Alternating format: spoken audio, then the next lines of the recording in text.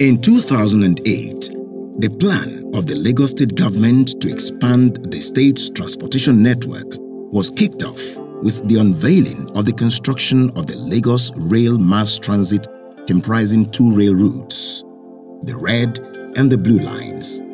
The projects were part of the strategic implementation of an integrated, intermodal, multimodal transport system designed to service the state's growing population.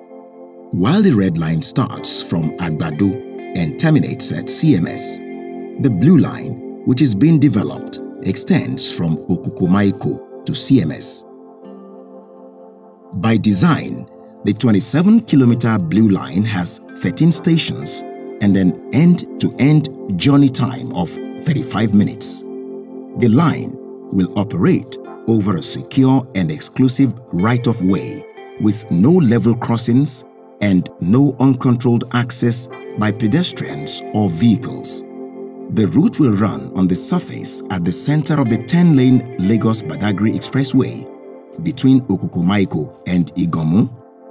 The line is then elevated from Iganmu along the south side of the expressway, passing the junction with Eric Moore Road, crossing just south of the National Theatre to Iddo, then south to Lagos Island with a terminal at Marina.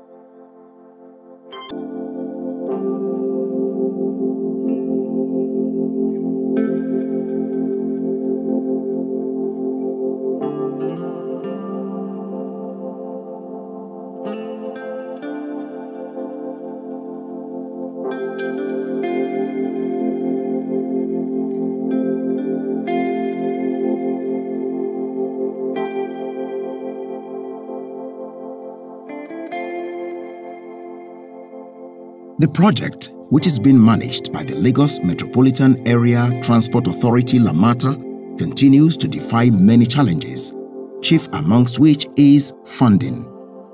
The segment extending from Agboju to the National Theatre is at over 90% completion stage. The remaining parts, from the National Theatre to Marina and from Agboju to Okokomaiko, are ongoing. This is one of the many projects inherited by the Governor Babajide Sanwo-Olu and Dr. Obafemi Hamzat's administration, which is working hard to ensure that the landmark project is completed.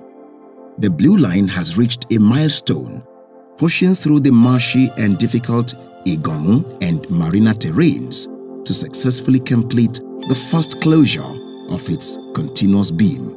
The completion of this project is a top priority for administration as it is critical for the achievement of our prioritized pillar of traffic management and transportation under our THEMES agenda. It is also key to building of a 21st century economy which is central to the vision of our greater Lagos. The light rail project is bringing many benefits to Lagosians.